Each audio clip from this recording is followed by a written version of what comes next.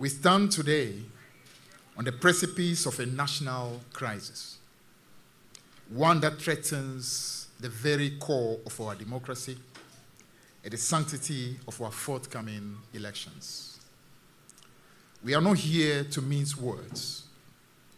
The recent theft of critical biometric equipment under the supposed secure watch of the Electoral Commission is not just an alarming oversight, it is a clear and present danger to our electoral integrity. This is not a trivial matter of misplaced property.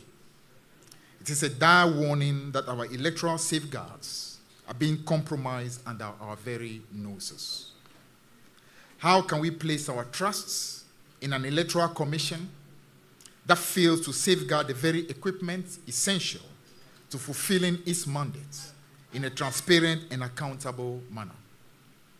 How can we stand by while the very mechanisms meant to guarantee free, fair elections are stolen away, possibly skewing the electoral landscapes in favor of those currently clinging on to the realms of power? This is an outright assault on our rights as voters and on the democratic principles that our forebears fought tirelessly to establish. The lackadaisical attitude and dismissive responses from Electoral Commission officials in the face of such a breach are unacceptable and insult the very intelligence of every Ghanaian. We demand immediate and decisive action from the Electoral Commission. The time for excuses is over. The time for transparency, accountability, and rectification is now. Ghana is watching, and the world is watching. The integrity of our elections and the future of our democracy hang in the balance. Let us be clear. We will accept nothing less than a full restoration of total security for all EC logistical equipment for the upcoming elections, a thorough investigation, and a complete accountability. Anything short of this represent an affront to our nation's future. We are gathered here today not just to express our outrage, but to ignite a collective demand for immediate and sweeping corrective measures. The Electoral Commission must act, and it must act now. Now, before we discuss the substantive issues, I want to publicly appreciate the patriotic Ghanaian whistleblowers across various sectors who continue to provide the NDC with vital information about the blatant aberrations that are going on, the abuse of power, and the organized thievery within the public sector under the non-performing Akufo-Addo Bawumia government. We all know how this non-performing and incompetent NPP government has inflicted unprecedented hardship on our people with staggering levels of unemployment, high inflation, a dislodged exchange rate, highs in transportation fares and fuel prices, excruciating poor charges and taxes, and crude financial haircut that continue to impact pensioners and the middle class in particular, one would have expected, in the midst of all this, that the NPP government would actually resign itself to fate and actually begin preparing their handing over notes. But we are dealing with a different government. Not this NPP government. And this is very unfortunate. They are bent on hanging on to power at all costs. But we are confident about one thing they will fail. The government has taken deliberate strategic steps towards the ignominious goal of winning elections at all costs by ensuring institutional decay in our dear country. They have appointed rapidly partisan and biased members of the NPP to independent institutions such as the Judiciary and the Electoral Commission of Ghana. Therefore, ladies and gentlemen, it is unsurprising to the NDC, and we believe to many decent-minded Ghanaians, that significant components of the biometric voter registration, BVR kits, could be stolen at the headquarters of the Electoral Commission of Ghana under lock with CCTV surveillance. We wish to emphasize that before the vigilance of a courageous whistleblower who alerted the NDC and the subsequent probing by our parliamentarians in Parliament, the shocking thefts of crucial biometric equipment at the EC's heavily surveilled headquarters would have remained shrouded in secrecy. This raises deeply troubling questions. Why did the Electoral Commission not disclose this significant breach of security? What prevented them from being upfront with the political parties, the Ghanaian public, and our development partners about such a critical incident? How can we trust an institution tasked with safeguarding the sanctity of our electoral process when it conceals such vital information?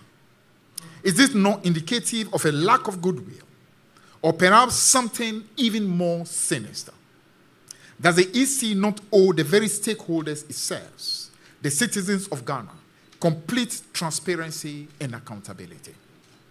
As the situation stands, there is a startling absence of verifiable evidence that the, this theft was, was even reported to the national security or the police as claimed by the Electoral Commission. No transparency and no respect for the stakeholders. One must ask why the silence? Why the secrecy? If the integrity of our electoral processes is to be preserved, shouldn't the Electoral Commission be the first to champion openness and swift communication about any threat to this integrity? We demand answers and we demand accountability. The Electoral Commission must explain its inaction and its choice to withhold information critical to the trust and confidence in our electoral system. The stakes are too high for such negligence, or worse, deliberate obfuscation.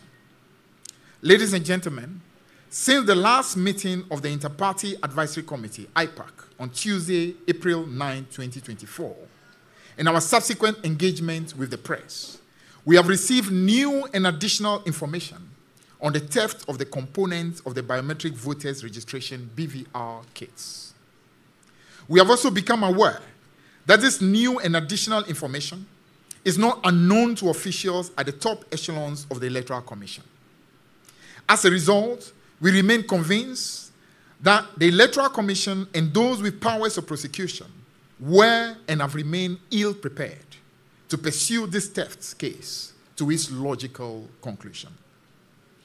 This being the case, we wish to share with you the 35 questions posed to the Electoral Commission at the last IPAC meeting, with the hope that by working together, enough pressure will be exerted on the EC and its collaborators within the security agencies to speak the truth about this theft which occurred under CCTV surveillance at the headquarters of the Electoral Commission. We need the truth to aid investigation and prosecution and to also prevent the recurrence as we head into the December 7, 2024 presidential and parliamentary elections. We cannot have free, fair, and transparent elections when there are doubts about the sanctity of the data and equipment of the Electoral Commission of Ghana. Before I list the questions, let me state without ambiguity that we demand a thorough, unbiased, independent investigation of this theft case, including an independent audit of the IT system of the Electoral Commission of Ghana. Ladies and gentlemen, the 35 questions posed to the EC at the IPAC meeting are as follows. One, have the missing kits been found? Two, if so, when? And we mean date and time and where were they found? How were the missing items discovered? Three, how many kits are missing and cannot be found or traced? Four, what are the serial numbers of the kits under discussion? Five, does the EC have the purchasing invoices together with serial numbers at the time of purchase of the missing items. Six, did the EC have an official recorded inventory of the missing items prior to the thefts. Seven, is there a present inventory of such sensitive items to aid a comprehensive inquiry that can allay the fears of stakeholders?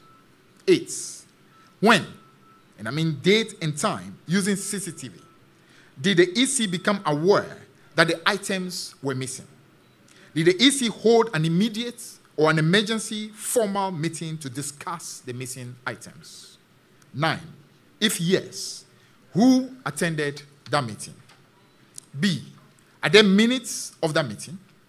C, was it resolved at the meeting to report to the police? Question 10. If it was reported to the police, what is the time lapse between the discovery of the theft and the report to the police? 11. Who in the EC made the report to the police? 12. Is there a formal extract of the report to the police? 13. What is the status of the report? 14.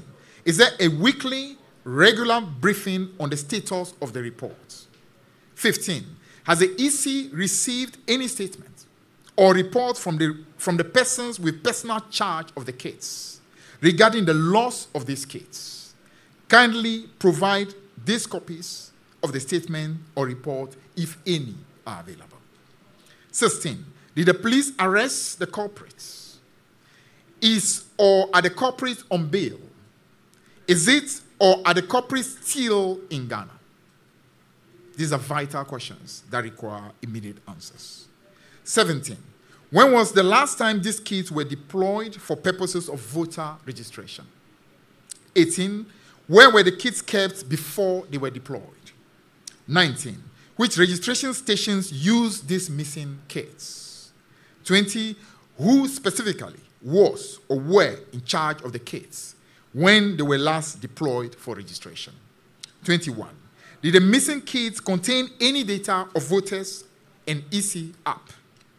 22. If yes, does the EC have backups for the data stored on the missing kits? 23. If yes, had the data already been transferred, either manually or electronically, to the National Voters Register for purposes of voting in the future? 24. What are the protocols for storing such devices at the EC headquarters? 25. Were these protocols followed for the missing items? 26. Who is personally responsible for the safekeeping of these items? 27. The individuals responsible for these items are the permanent or temporary EC staff. 28. If temporary staff, how long have they worked for the Electoral Commission? Now, ladies and gentlemen, the remaining seven questions to make up 35 in all relate to missing biometric verification devices or BVDs and not biometric voter registration BVR kits. Now, we wish to request that in reporting, you distinguish between BVRs and BVDs for emphasis. BVRs and BVDs are not the same. Now, we wish to request this in order to help clear the minds of the public. Because the failure to make this important distinction allows the EC to throw dust into the eyes of many unsuspecting followers of this case. Now, before we proceed further, let me clarify the differences between these pieces of equipment. Now, understanding these distinctions becomes crucial for our comprehension of the issues at hand. Biometric voter registration, BVR kits, and biometric verification devices, BVDs, serve roles, different roles in our electoral process. And their security directly impacts the integrity of our elections. BVR kits are primarily utilized for voter registration. This is when new voters are enrolled and existing registrations are updated. These keys are integral for capturing and securely storing individual biometric data, such as fingerprints and facial photographs, along with other personal details in a central electoral database. This process typically occurs months or even years before an election and is crucial for ensuring that each voter has a unique record. Now, this not only prevents duplicate registration, but also potential electoral fraud. Now, in stark contrast, BVDs are deployed on election day to verify the identities of voters at polling stations. These devices, more compact than BVR kits, typically include a fingerprint scanner and a screen to display the voter's details once their identity is confirmed. Now, this verification ensures that the person voting matches the previously registered information, maintaining the integrity of the electoral process. It confirms each voter's identity in real time, preventing identity fraud and ensuring that each person votes only once. Now, understanding these key differences, the timing of their use, and their primary functions is essential. BVR kits are used during the voter registration phase to create accurate and credible voter records, while BVDs are employed on the day of voting, specifically for voter identification. This dual approach contributes effectively to different phases of the electoral process. BVR kits establish a credible voter database and BVDs ensure the integrity of the actual voting process.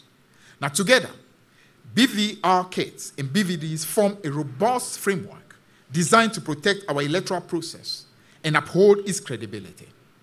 However, when components of this critical infrastructure become compromised or stolen, as we have seen, it poses a severe threat not just to the logistics of the EC on election day, but to the very foundation of our democratic rights.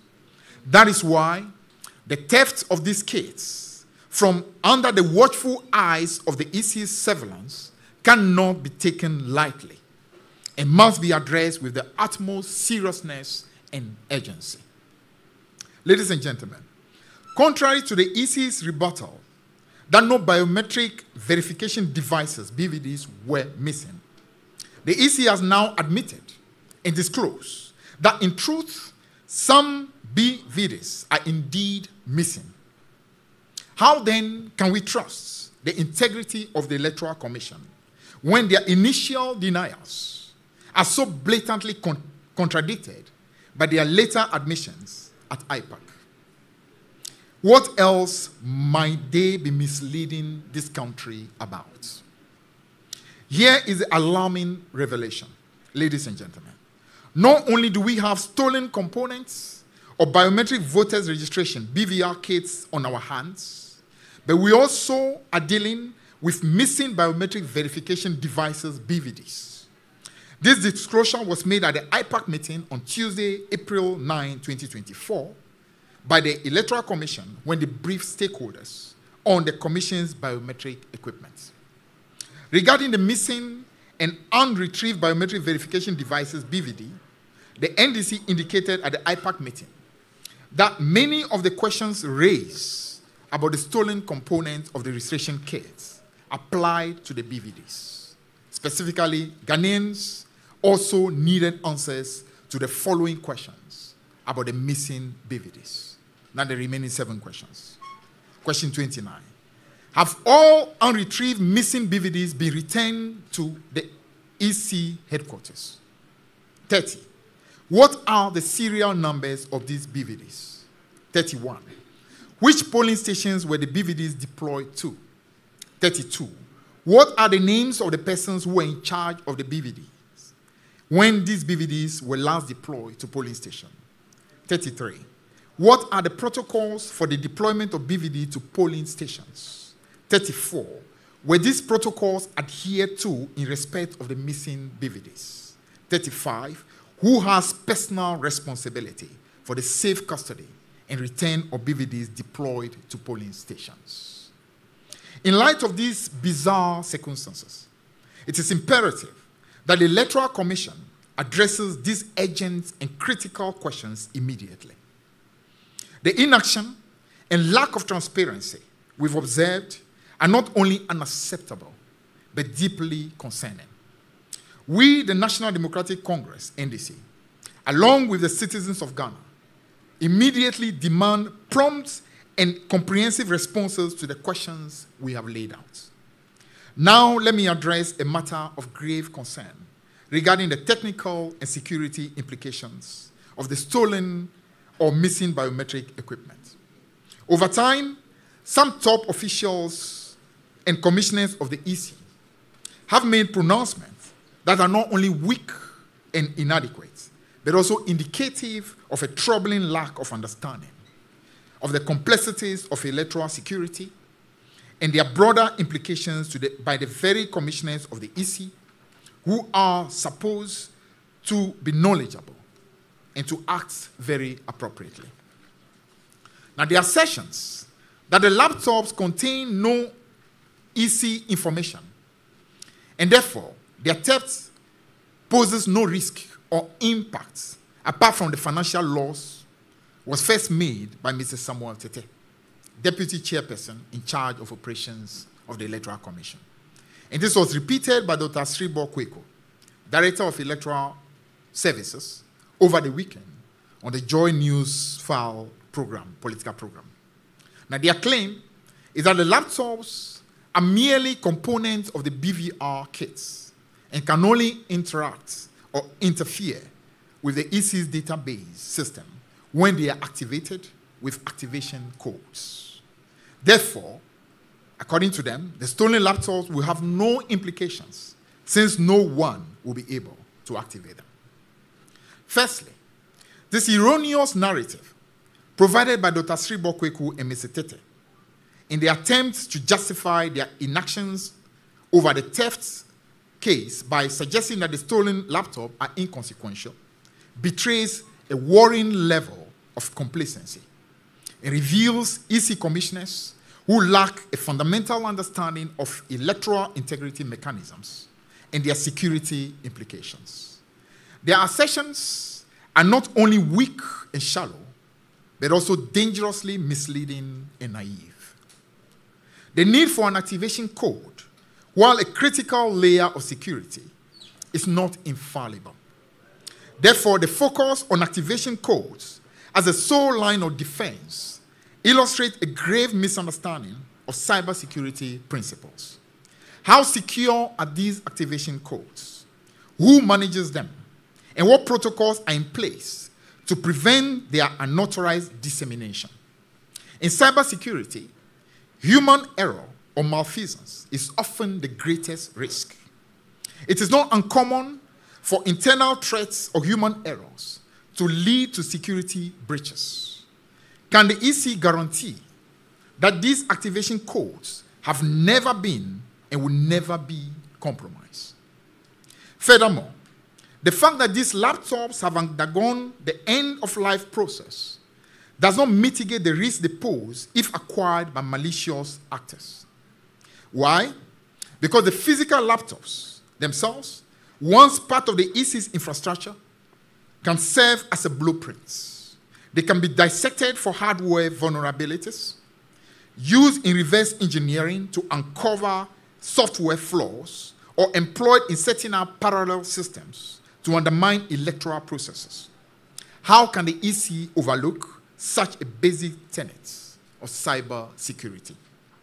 Moreover, these devices, even stripped of direct electoral data, could potentially be used to create counterfeit systems or to train individuals in manipulating similar devices. In cybersecurity, access to physical devices provides critical insights into system operations, which can be exploited in numerous ways. Are we to believe that such risks are of no concern to the Electoral Commission? Let us consider the potential for these devices to be utilized in staging mock setups, to test hacking strategies, or to train personnel in circumventing security measures. The theft of such laptops must be seen as a direct threat to the integrity of the and security of our electoral system. It begs the question if basic physical security cannot be maintained, how can we trust the Electoral Commission to safeguard the sanctity of our electoral process? Now, the dire consequences of the stolen laptops. Ladies and gentlemen, the theft of the five BVR laptops from the Electoral Commission is not a trivial matter. to be dismissed as a mere financial loss by the EC. The stolen laptops reveal profound vulnerabilities and pose dire consequences for the integrity of our electoral system, which we cannot afford to overlook or underestimate. The cavalier dismissal of these thefts by the EC as merely a financial loss is not only short sighted, but also reflective of a perilous disregard for the broader implications of our electoral integrity. How can we stand by when critical and sensitive equipment entrusted to the EC and under 24 7 CCTV surveillance to conduct free and fair elections is treated with such negligence? These pieces of equipment are essential and carry a national security risk, which is precisely why they are monitored continuously. How can such critical assets be compromised when they are under constant watch? These stolen laptops represent a significant breach in the security protocols of the Electoral Commission. We suggest possible vulnerabilities that could be exploited during the actual elections we must ask ourselves and demand answers from the EC about the potential for these devices to be used in crafting nefarious means to manipulate voter data or to clone voter registration processes. Is this not a recipe for electoral disaster that could question the very legitimacy of our governance system? Moreover, this incident casts a long and ominous shadow over the credibility and trustworthiness of the Electoral Commission itself. How can the Ghanaian people trust that the elections of December 2024 will be free from manipulation when the basic security of such critical equipment cannot be guaranteed? Are we to simply trust without question in the face of these glaring lapses? Let us consider the implications of these thefts not as isolated incidents, but as indicators of potentially broader systemic vulnerabilities that could be exploited to alter electoral outcomes. Each laptop, each piece of equipment in the EC's inventory holds the potential to influence the electoral process significantly. The theft of such devices raises critical questions about the possibility of insider threats or external breaches, which could lead to unauthorized access to sensitive systems. In response to this breach, the assurances provided by Electoral Commission's officials are not only inadequate, but also demonstrate a troubling lack of understanding of the complexities and necessities of robust electoral security. The assurances do not suffice in the face of potential electoral tampering or fraud.